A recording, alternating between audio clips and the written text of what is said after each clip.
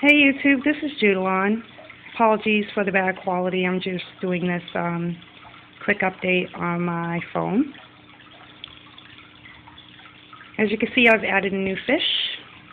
This is a Shubunkin. When I got him, he was small, but he has grown. I haven't done a video in months, so you didn't get to see him when I first purchased him. And he gets along great with the original monster there. And you can see these two minnows. And the minnows, they're fathead minnows. They really help with keeping the tank clean. Um, they actually eat the goldfish poop.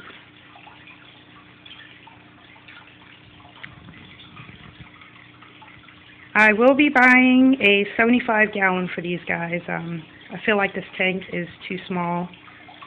And uh, they've been leaching ammonia about 0.25 parts per million. Um, I'm going to be buying another filter Friday, but I also feel like they need more room to swim.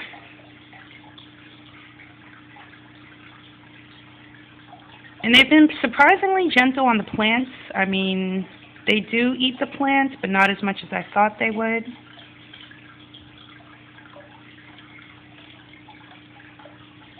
And now I'm feeding them pellets by Omega 1 and I supplement that with mealworms, bloodworms, and brine shrimp. And despite having the ammonia, they are looking really good.